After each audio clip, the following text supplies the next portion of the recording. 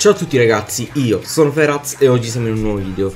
Quest'oggi, come ogni lunedì, siamo di nuovo in Dragon Ball What If, questa volta con una storia diversa, dato che è finita la mini storia proposta da Andrea Carol Vitolo e ora ho deciso di cominciare una piccola storia di un solo episodio che ho inventato io, un po' diciamo andando avanti con la fantasia.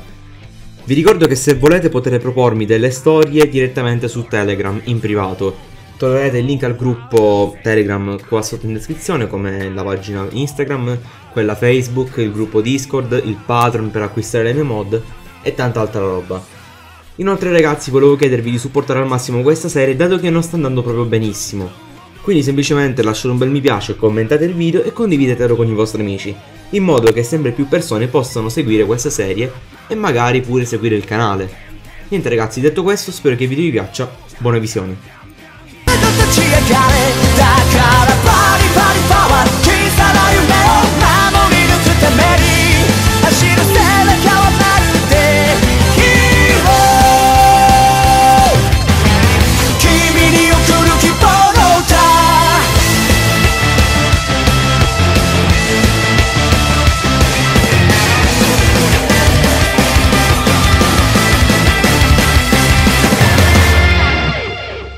Il torneo del potere è ormai finito. Jiren, in uno scatto fortuito, è infatti riuscito a liberarsi dalla presa di Goku e Freezer, lasciando cadere i due avversari e salvandosi.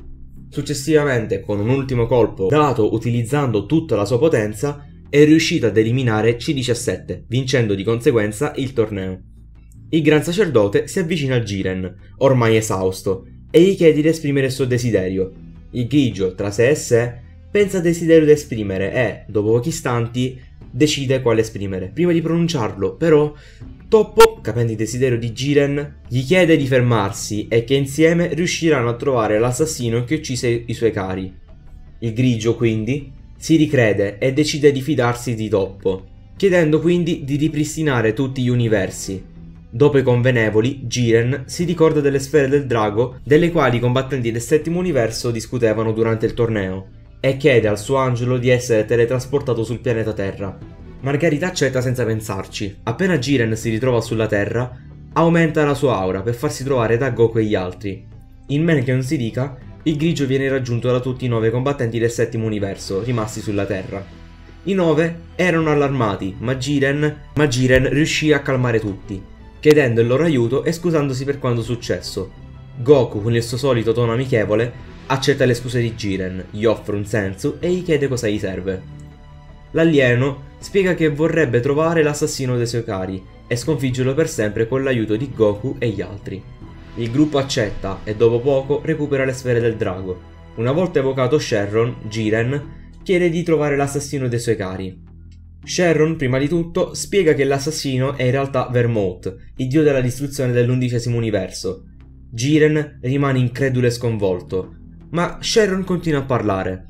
Infatti il drago spiega a Jiren che Vermouth voleva trovare un'arma manipolabile e completamente controllabile proprio a causa del suo enorme senso di odio verso colui che ha ucciso i suoi genitori, per avere appunto una pedina utilizzabile per proteggere il proprio universo e la propria carica come dio della distruzione.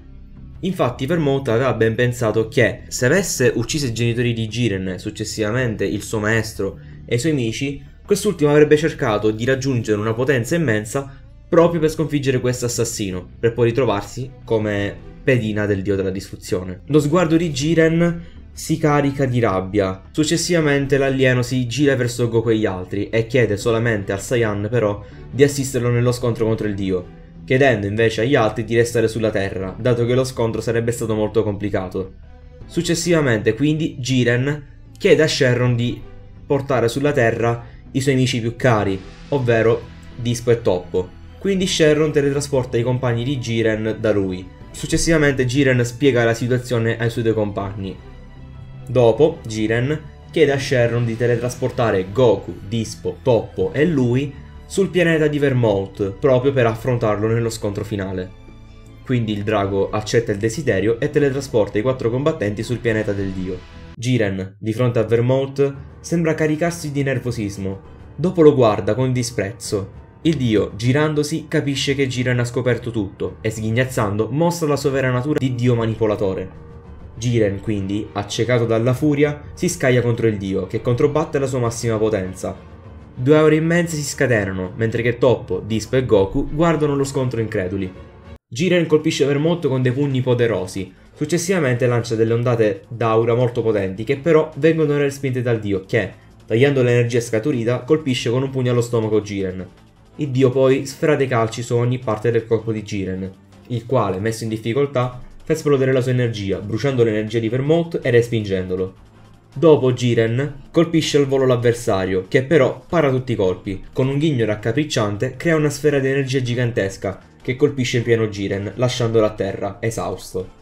Goku, Toppo e Dispo rimangono increduli e dopo un momento di riflessione decidono tutti e tre, concordando, di scagliarsi contro il dio alla loro massima potenza. I tre, quindi, per difendere l'amico, si scagliano contro Vermouth. Il trio coordina ogni colpo, riuscendo a danneggiare Vermouth, il quale però si concentra principalmente sul colpire Goku, che però, usando il potere dell'ultra istinto, riesce a schivare i colpi del dio.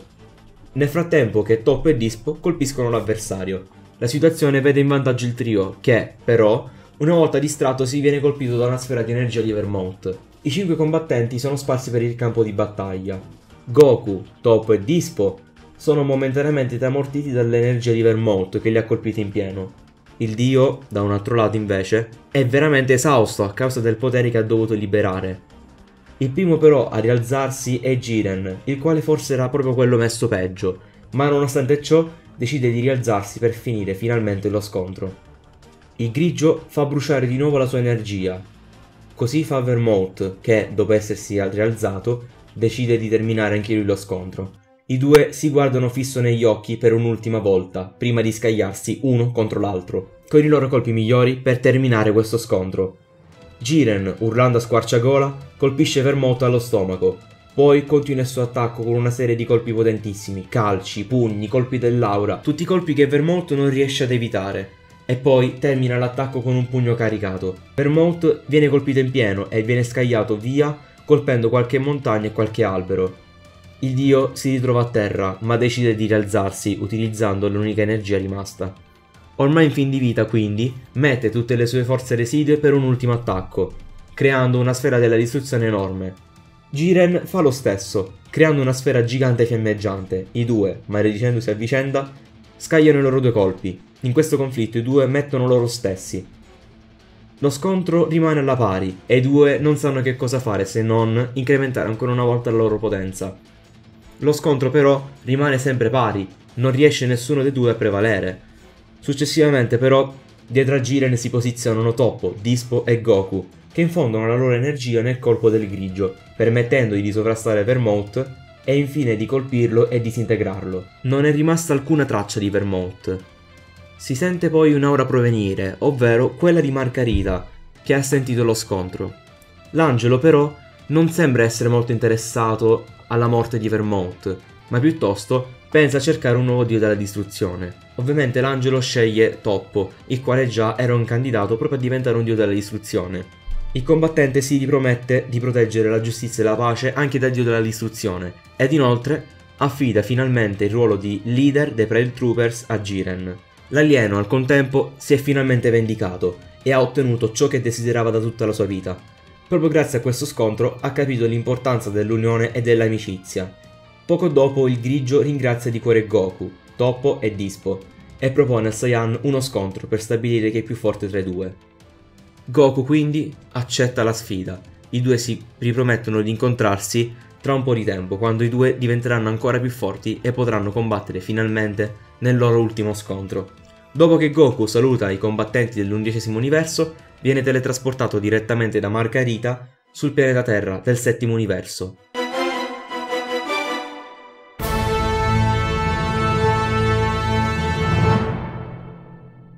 Ebbene sì ragazzi, questo video termina qua.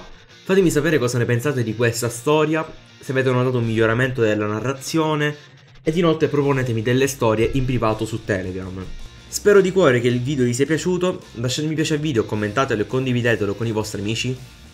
Iscrivetevi al canale se ancora non l'hai fatto, attivate la campanella per avere tutte le notifiche guarda i video. Entrate nel gruppo Telegram e nel gruppo Discord che trovate qua sotto in descrizione. Vi ricordo che ce ne sono di nuovi, quindi se non siete ancora in quello nuovo, entrate sia su Telegram sia su Discord, dato che regalerò appunto alcune mod ai più attivi. Inoltre mettete mi piace alla pagina Facebook e seguitemi su Instagram, trovate tutto in descrizione, pubblico a volte degli aggiornamenti riguardo al canale, nelle storie oppure nei post. Inoltre vi ricordo che venerdì uscirà una nuova versione del Super Multiverse Pack, con i personaggi che avreste dovuto vedere nell'ormai cancellata serie di Dragon Ball Super Multiverse 2, con appunto un personaggio molto importante di Dragon Ball Prime che vedrete successivamente, ed inoltre tante nuove cose, tra cui 5 nuovi stage, forse ne aggiungerà pure di più, nuovi accessori per il CAC, nuove skill ed inoltre le skill di trasformazione per il CAC, tra cui l'Ultra Istinto, l'Ultra Istinto completo Super Saiyan Blue Evolution, Super Saiyan God, Super Saiyan Rosé e Super Saiyan Leggendario, dall'1 al 3. E niente ragazzi, noi ci vediamo in un prossimo video, in una prossima live. Un saluto da Feraz. Bella.